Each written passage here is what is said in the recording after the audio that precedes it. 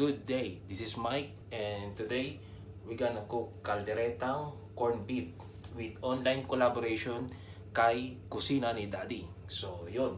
Bago tayo magsimula, silipin muna natin si Kusina ni Daddy. Come on!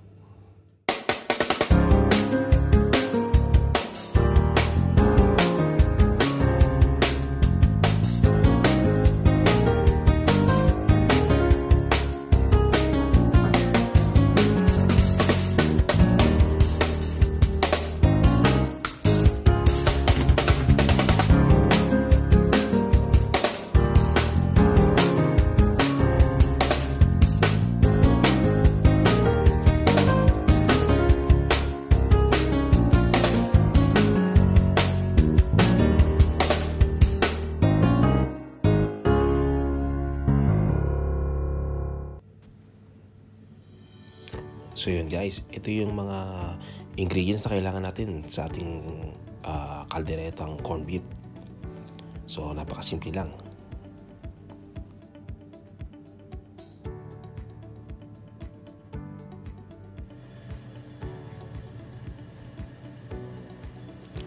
Lagyan ko muna ng pamintang durog.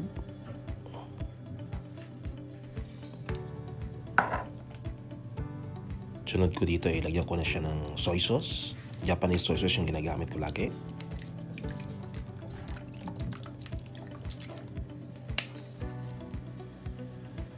Sunod naman, ilagyan ko lang siya ng ketchup.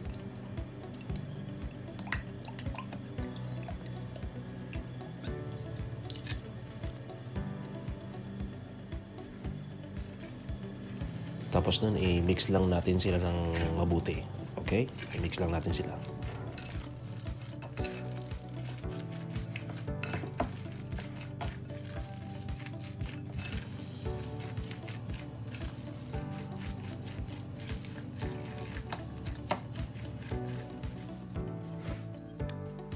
Tapos din, ready na natin yung ating patatas. Ikakat ko lang siya ng pa-square o cubes na maliliit.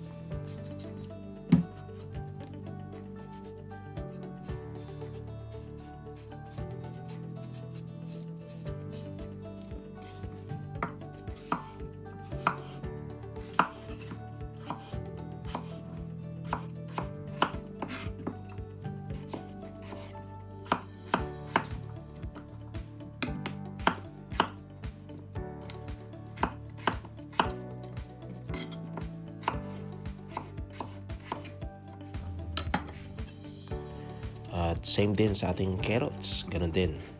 Balatan natin siya. Tapos hiwain natin ng pa-square din.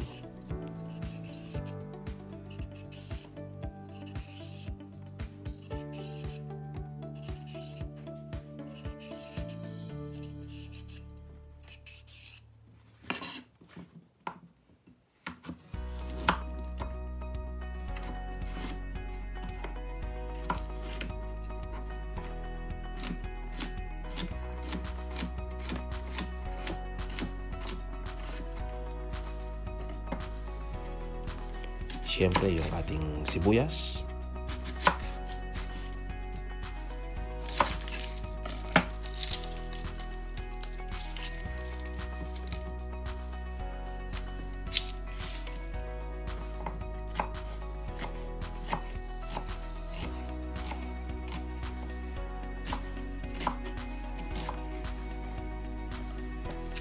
Yung bawang para hindi tayo aswangin. Ha! At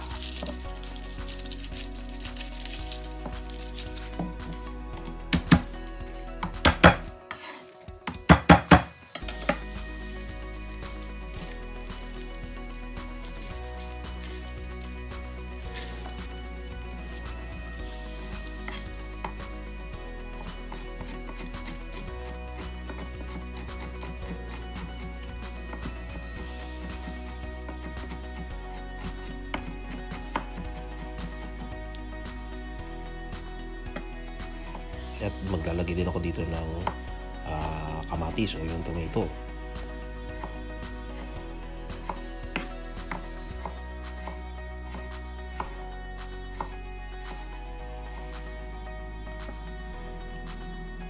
Meron din ako ditong green peas. Peace be with you.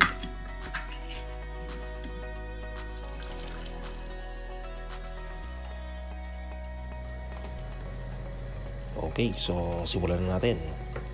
Lagyan ko ng mantika sa aking uh, kawali para i-prito muna natin yung ating potato at saka yung carrots. Pag luto na yan, then magigisa na lang.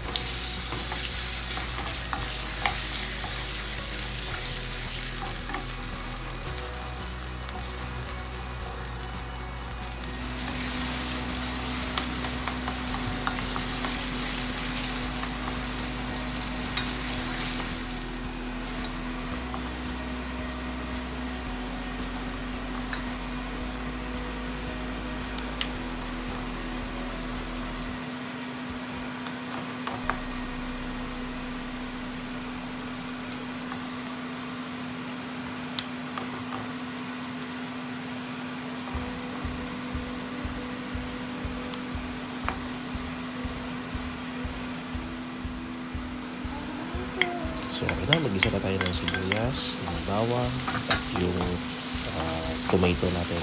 Isunod na natin siya.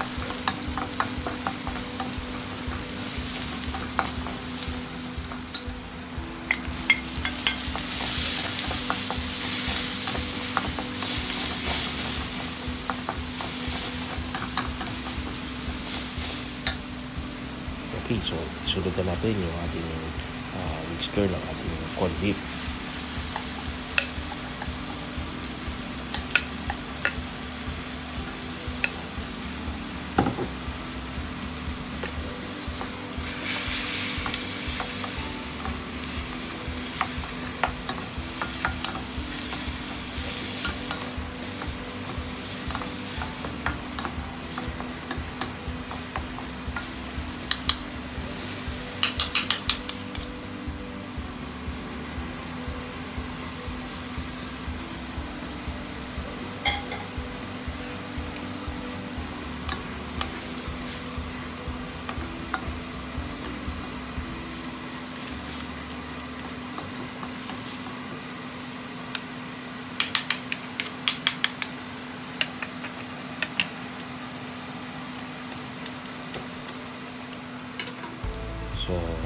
Dito, maglalagay ako ng uh, liver spread. So, depende kung anong gusto nyo liver spread. Okay?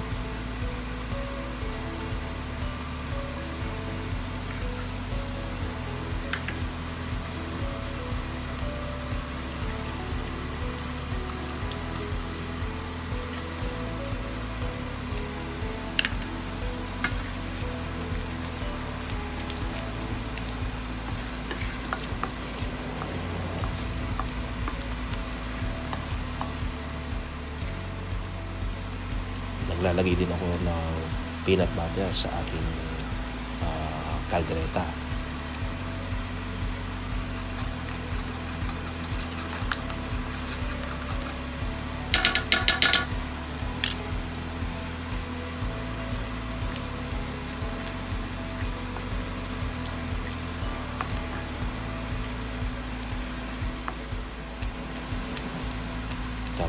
Sili, mas maganda kung hihiwain niyo. Pero hindi ko hiniwa dahil meron kaming bata nakakain. Baka hindi niya makakain yung corned beef. Sayang naman. At yun yun, ilagay na natin yung ating uh, niluto kanina na potato at saka yung carrots na okay na siya. Ihahalo na natin kasi halos luto na rin yung ating uh, corned beef. Tapos lagyan natin siya ng green peas.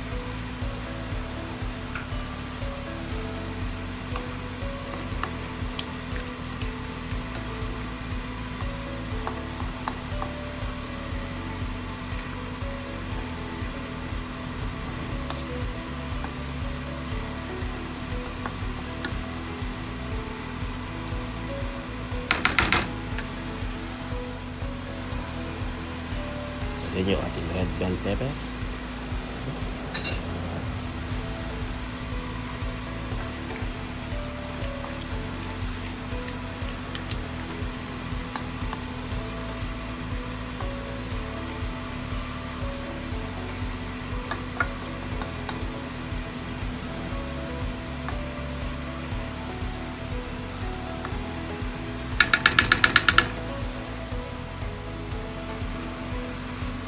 After ilang minuto, yan, luto na yung ating corned beef.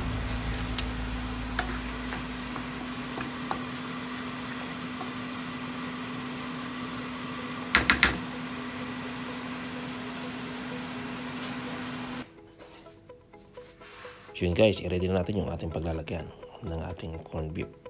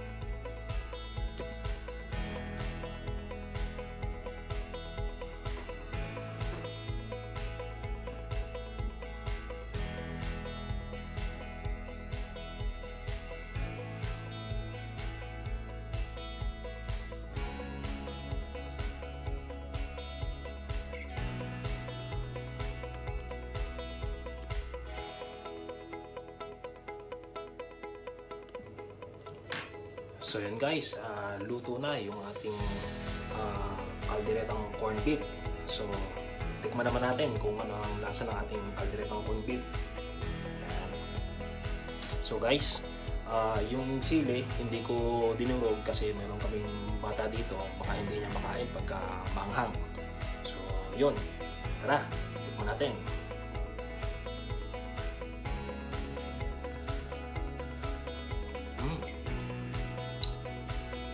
Pwede. Panalo. Mas masarap sana to kung may anghang siya. Kasi ang kaldereta sadyang may anghang. Dapat. So dahil may bata kami, kaya hindi ko tinadtad yung ano yung sili. Pero kung gusto mo, pwede mo tadtadin uh, para lumasa yung sili, umanghang siya.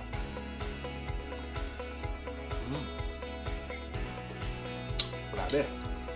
Sarap. Subukan nyo. Gawin nyo to. Kalderetang corned beef. Yan. So guys, salamat! So guys, uh, huwag nating kalimutan, suportahan yung ating kasamahan natin na si uh, Kusina ni Daddy, yung ating online collaboration ngayon sa ating menu na kalderetang corned beef. So guys, pasulan natin siya, silipin natin. At don't forget to like, share, and subscribe to the channel. I want to say something. Yeah. Say something. Hit the like, share, and subscribe. See, bye!